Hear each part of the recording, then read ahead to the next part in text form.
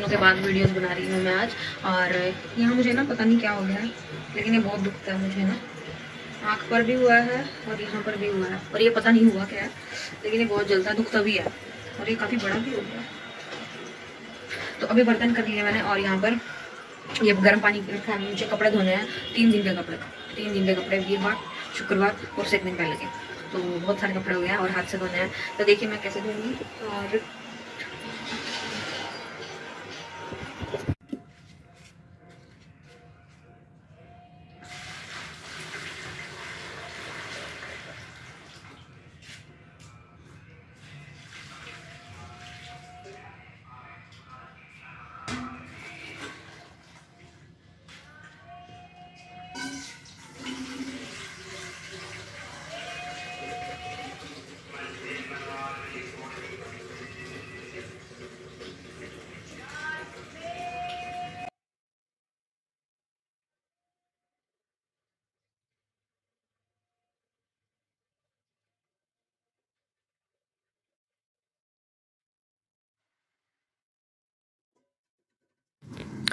तो यहाँ पर गर्म पानी में कपड़े थोड़ी देर मैंने भिगो के रख दिए थे क्योंकि बहुत ज़्यादा कपड़े हो गए थे और वॉश मैंने इसलिए नहीं किए थे क्योंकि बीच में हम घर भी चले गए थे तो एक दिन के तब थे और मैं थर्सडे को कपड़े नहीं धोती तो उसके भी थे।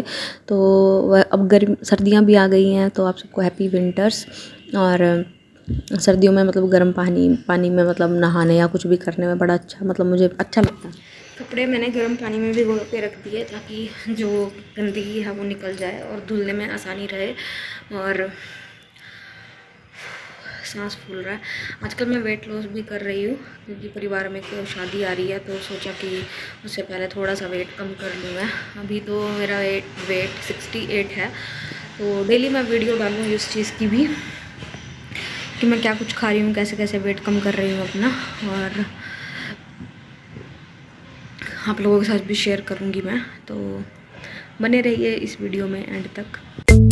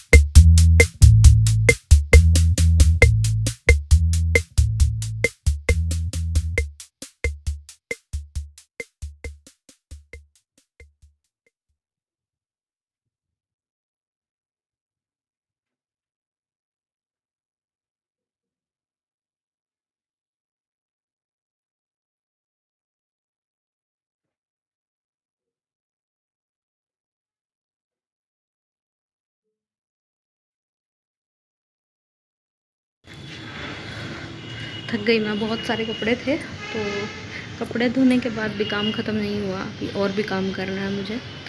तो बने रहिएगा वीडियो के एंड तक। तो काम करके वॉशरूम मैंने धो दिया था, और यहाँ पर मतलब ये काफ़ी पुराना बाथरूम है जिसके घर पे हम रहते हैं तो काफ़ी दाग वाग भी हैं। मैं बहुत ट्राई करती हूँ इनको साफ़ करने का, पर निकलता नहीं है। और कमरा भी मैंने सेट कर दिया था अपना, और अब मैं थोड़ी देर आराम करने वाली हूँ, या फिर देखती हूँ क्या करूँगी मैं। तो सारी क्लीनिंग फिनिश हो चुकी है और अब मैं करूँगी थोड़ी देर आराम।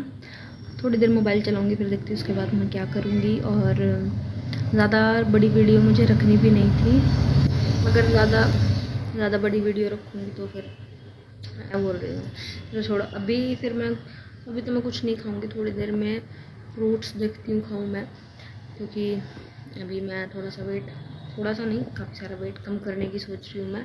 टारगेट तो मेरा है कम से कम पाँच छः के जी मैं कम कर दूँ और देखती हूँ हो पाता है कि नहीं। जितना भी हो तो बेटर ही है, और कपड़े वपड़े मेरे रेडी हो चुके हैं ऑलमोस्ट मुझे मतलब ऐसा कुछ लेना नहीं है ज्वेलरी मैं सोच रही हूँ कि मैं लूँ इयर वगैरह। बाकी सब तो है ही मेरे पास, अगर नहीं भी लूँगी तो भी चल जाएगा। तो ये होता है ना कि अगर दूसरे की शादी हो तो ज़्यादा खर्चा नहीं करना चाहिए तो बस वही चीज़ है। ऐसा किसी मतलब अनजान की तो नहीं है है तो फैमिली में से ही लेकिन अपनी जेब भी देखनी पड़ती है ना तो, तो बस वही चीज़ है। और बस अभी इस वीडियो को मैं यहीं पर ही स्टॉप करती हूँ और क्योंकि फिर कल से मैं थोड़ा सोच रही हूँ कि मैं क्या ऐसा लेकर आऊँ जो आप लोगों को अच्छा भी लगे। ऐसे रेंडम मतलब ऐसे घर की डेली डेली वही घर का काम दिखाना काफ़ी बोरिंग हो जाता है। तो मैंने सोचा कि जब मैं वेट लॉस कर ही रही हूँ तो मैं उसी की जर्नी ही आप लोगों के साथ शेयर करूँगी। और जो मैरिज है वो ट्वेंटी एट नवंबर की है। तो हमारे पास है कम से कम दो से ढाई ढाई तीन हफ़्ते तो हैं। तो देखते हैं तीन हफ्तों में हम कितना केजी कम कर पाते हैं। ज़रूरत पड़ी तो भूखे भी रह लेंगे। तो चलिए देखते हैं। तो मैं मिलूँगी आप अगली वीडियो में। तब तक के लिए बाय आई होप आप लोगों को मेरी आवाज़ आ रही होगी।